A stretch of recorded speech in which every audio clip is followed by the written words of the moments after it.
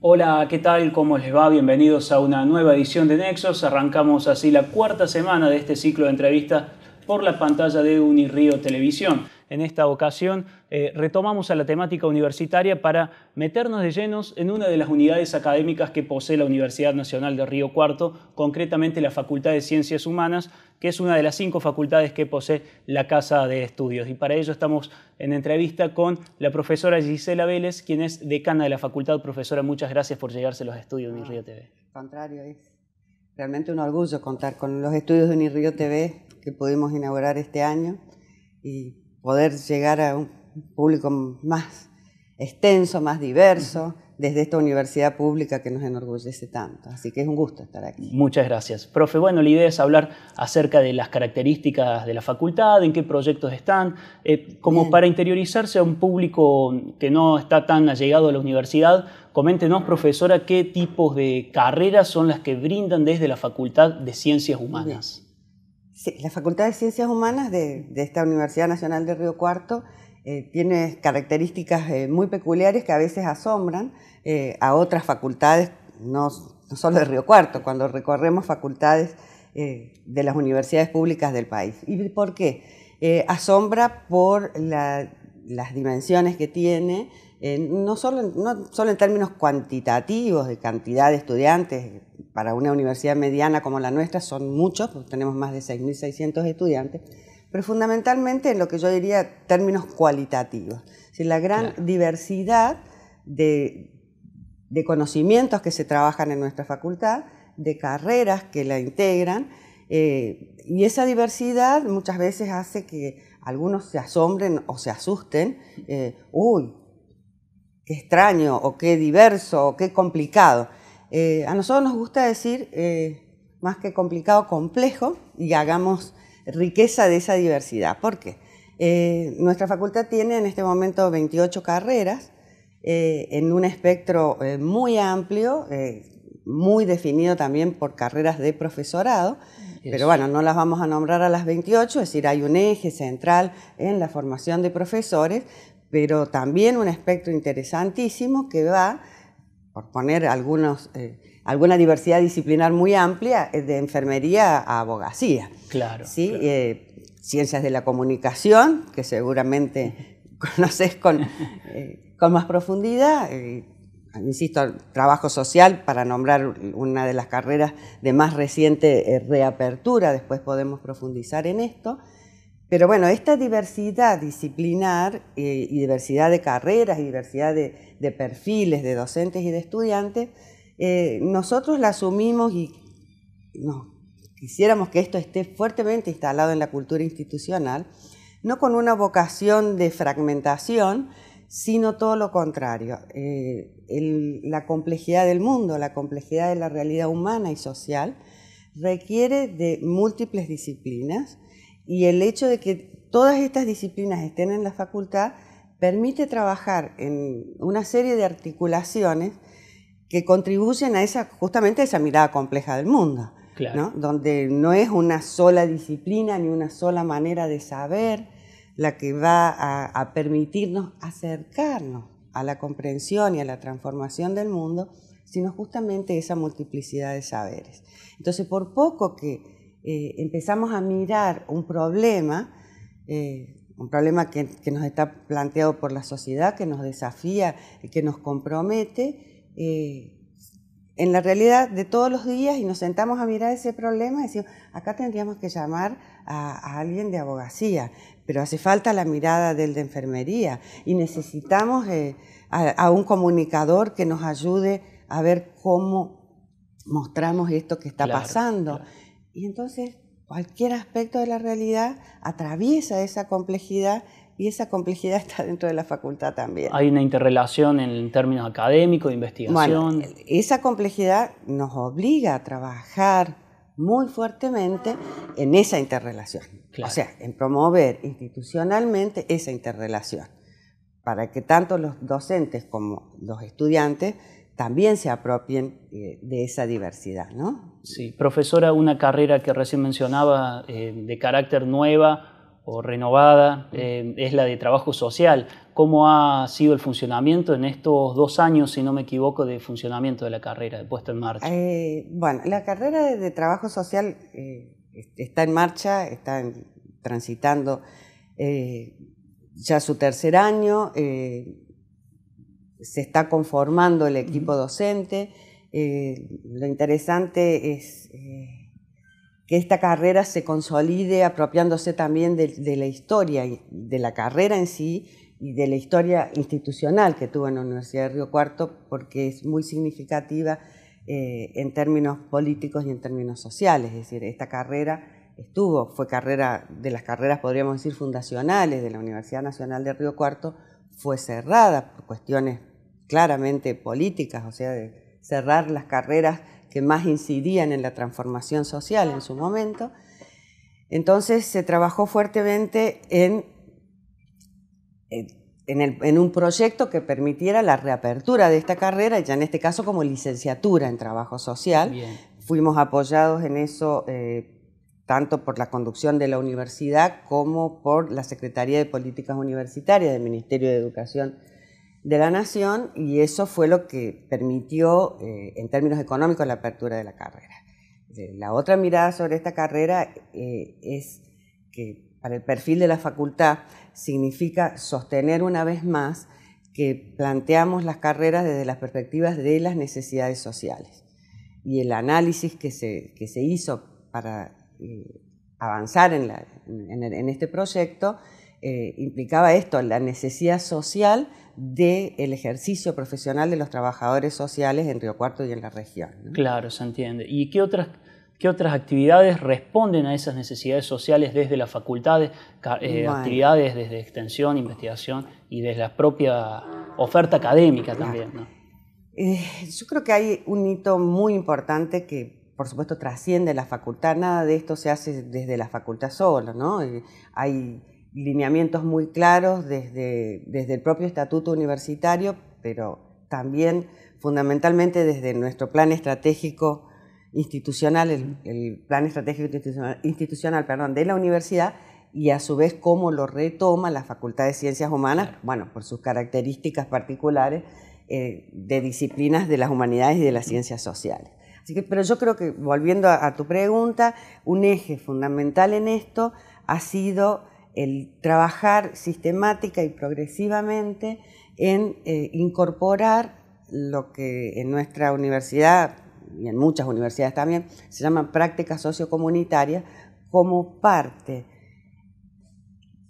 como, parte, como, una parte constituyente de la formación de los estudiantes. Lo que lleva también, por supuesto, al compromiso en el perfil del profesor que queremos para la Universidad Nacional de Río Cuarto. Entonces, en los últimos años se ha avanzado mm, fuertemente en una definición política, en la normativa que regula y en la definición, eh, para el trabajo de las prácticas sociocomunitarias, ¿qué significa práctica sociocomunitaria? Porque a veces se confunde, eh, es extensión, eh, es, es una práctica. La práctica sociocomunitaria significa que en el marco de la carrera que está estudiando, está cursando un estudiante, formarse en, eh, en incidir en la transformación social es parte de su perfil. Claro. La comunidad nos está planteando múltiples necesidades y ante esos planteos, el conocimiento que adquiere el estudiante en relación con, eh, con su propia carrera y demás, se profundiza en términos de decir, este conocimiento se acrecienta, se profundiza mirando qué es lo que está pasando en el medio social como una necesidad. A ver, no es, no no es algo ajeno a lo que está haciendo el, estudiante en su formación de su carrera. Pensemos, por ejemplo, un, estudiante de, de psicopedagogía, un centro comunitario, una asociación vecinal, en la que los niños asisten a, aprender. ¿En qué trabaja un psicopedagogo? En mejorar los aprendizajes. Entonces, trabajar en ese ámbito donde hay una necesidad social, profundiza su formación como psicopedagogo, pero fundamentalmente profundiza su formación en términos de un psicopedagogo sensible a las necesidades sociales, que sabe que se necesita de él en la sociedad como profesional. Profesora, le invitamos a hacer una breve pausa y después continuamos. Por supuesto. Diálogo con la profesora Gisela Vélez, decana de la Facultad de Ciencias Humanas. Nosotros marcamos la primera tanda en este Nexus y ya volvemos.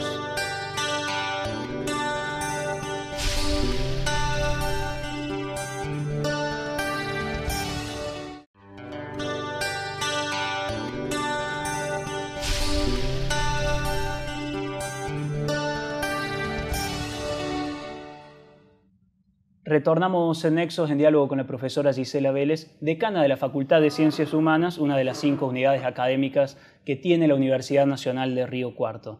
Profesora, en continuidad con el diálogo, con las cuestiones académicas, de investigación, le queríamos preguntar ante todo eh, qué actividades de posgrado o carreras de posgrado tiene eh, la Facultad de Ciencias Humanas.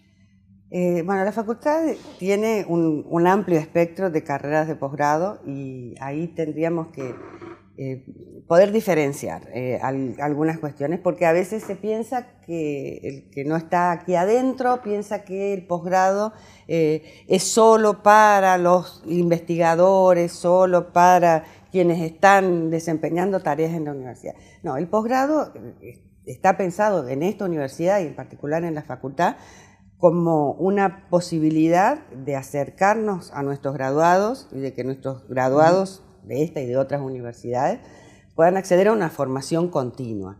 Esa formación continua acorde a los aceleradísimos cambios que nos va, eh, que nos va planteando el conocimiento día a día y, la realidad misma va cambiando, entonces tenemos que seguir mirando eh, con qué nuevas teorías o con qué nuevas herramientas de intervención vemos. O sea, entendemos el posgrado como esto, una posibilidad abierta de formación continua. Entonces, en ese sentido, uno puede mirar un amplio espectro en la formación de posgrado. Si por un lado, este, en la facultad está el doctorado en ciencias sociales, que sí, una fuerte impronta, eh, un doctorado de formación eh, académica, eh, sin embargo, decir eso no quita que, puedan acceder quienes no están en la academia, ¿sí? pero fuertemente formación académica. Eh, y el doctorado que define, digamos, a nuestra facultad es el doctorado en ciencias sociales. Después están en marcha en este está en marcha en este momento la maestría en inglés, eh, que ahora es la maestría en enseñanza de inglés y, y la maestría en ciencias sociales. Eh, bueno, particularmente en inglés, está orientada a profesores y licenciados eh, de inglés, tiene dos orientaciones. Y estamos trabajando también eh, en este momento en una especialización, que es otra, otro tipo de carrera, es una carrera más breve, las especializaciones culminan aproximadamente en dos años, pero en este momento, por la definición de formación docente de nuestra facultad, eh, estamos presentando para acreditarse, porque hay un organismo de, acreditación de las carreras de posgrado, nuestras carreras de posgrado están todas acreditadas, de, las de toda la universidad, que es la carrera de especialización en educación superior. entonces, en docencia superior. Claro. Esa carrera todavía no está en marcha, así que digo, no, que no piense que se pueden venir a inscribir ahora, pero sí la, eh, quiero conversar sobre esta carrera en términos de que eh, marca una definición de la importancia de la formación permanente del docente que está en educación superior. O sea, esta carrera está aprobada ya por el Consejo Superior y va a, su acreditación. Esperamos que en, un año no más podamos estar poniendo en marcha esa carrera. Y también hay una, impronta, una característica con el tema diplomaturas que quizás refuerzan esa característica apuntada a los graduados. Ese es el, otro, la, otra tipología, digamos, de formación de posgrado, que eh, no hace mucho tiempo eh, la definió el Consejo Superior como eh, una figura de formación de posgrado, que es la de las diplomaturas. ¿Qué significa esto de las diplomaturas? hay un eje de formación que se trabaja en torno a un ciclo de cursos, módulos, seminarios, que se resuelven en términos más o menos de seis u ocho meses, a veces un año.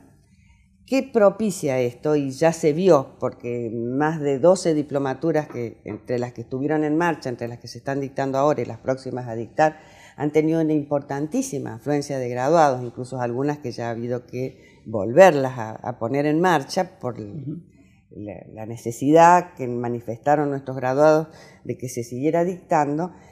Eso eh, permite una actualización en un tiempo medianamente acotado, que a veces, eh, es decir, que no exige decir, bueno, voy a estar cinco años en una formación, como puede ser el caso de un doctorado, eh, porque por mis necesidades laborales, por mi contexto familiar o por lo que fuera, no puedo comprometer un periodo tan largo de tiempo, eh, la diplomatura está ofreciendo con mucho dinamismo una actualización permanente en, distintas, en distintos ámbitos de conocimiento. Claro. Profesora, en términos de investigación, ¿qué característica posee la Facultad de Ciencias Humanas, eh, relacionándolo con este amplio abanico que hablábamos al inicio de diferentes disciplinas, carreras? Bueno, la Facultad de Ciencias Humanas con este amplio abanico, pero a la vez con mucha interrelación, eh, tiene líneas de investigación eh, que se definieron por acuerdo de toda la facultad,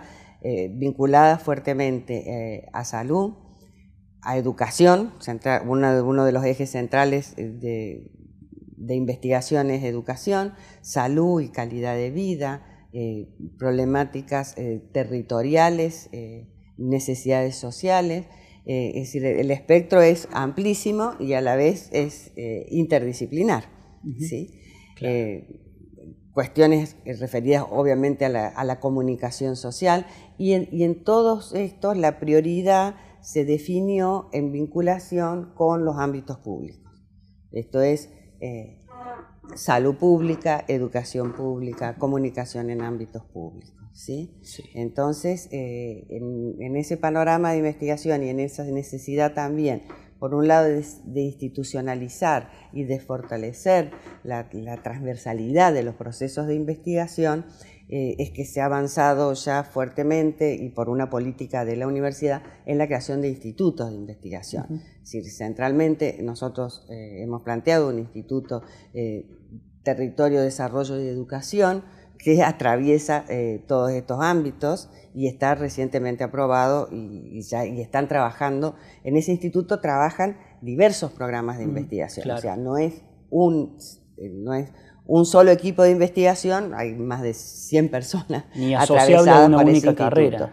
Para nada asociable a una única carrera, sino atravesados por la multiplicidad de carreras de las facultades. en investigación, en este momento, tenemos eh, dos líneas institucionales de trabajo fuerte, eh, más allá de los, del objeto de investigación.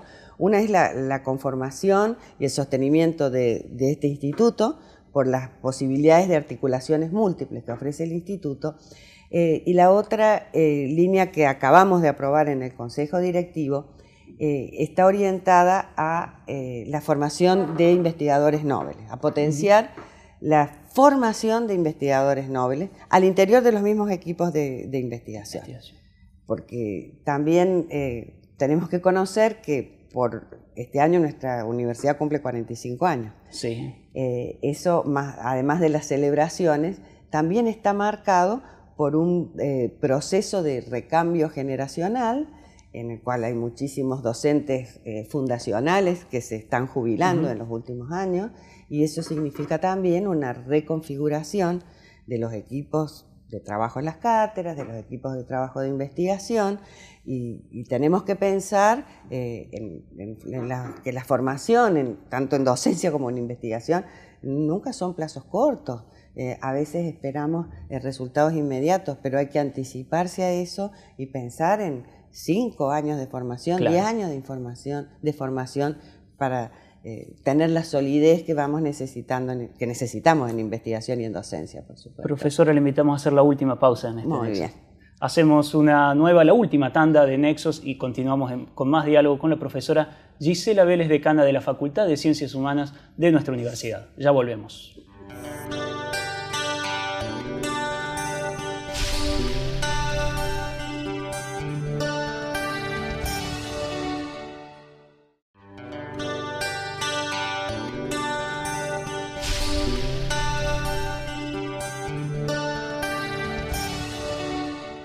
Tercer y último bloque de este Nexos en diálogo con la profesora Gisela Vélez, decana de la Facultad de Ciencias Humanas.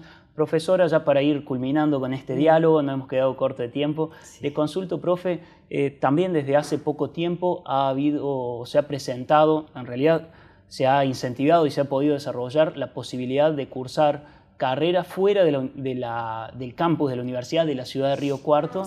Pienso concretamente en el caso de Jovita, por ejemplo, y General Cabrera, ¿es así? Eh, a ver, eh, esto está enmarcado en una política pública que comenzó ya hace más de cuatro años, que es la generación de centros regionales de educación superior. Eh, nosotros trabajamos atendiendo claramente a necesidades de formación, en, distintos, en distintas dentro de la región sur, pero en distintas localidades, que, necesidades de formación muy definidas. Nosotros tenemos en eh, la Bulalle la carrera de enfermería, en General Cabrera la carrera de profesorado en letras y en la localidad de Villa Dolores el ciclo de licenciatura en educación física. Eh, estas carreras, como dije, se enmarcan en, en, una política pública que financia y sostiene la, posibilidad de que el dictado se concrete en, esos lugares. Esos lugares que son definidos por la necesidad. Por ejemplo, claramente la, la provincia marca la necesidad de formación de profesores en letras y en matemática, que no es el caso nuestro, eso lo está dictando la Facultad de Ciencias Exactas, en el sur de Córdoba, y de ahí se define la sede Cabrera con articulación, municipio y demás. La, eh, la Bulalle. Eh, la Bulalle se dicta la carrera de enfermería hay un diagnóstico certero que no es solo del sur de Córdoba, es de todo el país de la necesidad de formación de enfermeros. Por eso, eh, desde la carrera de enfermería, el departamento y la facultad definió un impulso muy fuerte a la formación de enfermeros y es, en, el caso de la Bulalle se está trabajando con el municipio de la Bulalle, con la jurisdicción provincial, con ATSA, que es la Asociación de Trabajadores de la Salud, eh, y hay más de, hubo más de 100 inscriptos, lo que muestra claramente que, que, no solo es una necesidad, también es una demanda, ¿no? En esto de necesidad, necesidad y demanda. Nosotros venimos trabajando desde, desde, hace muchos años con el departamento, fundamentalmente el departamento viene trabajando en la profesionalización de los profesionales, valga la redundancia, de los profesionales de la salud.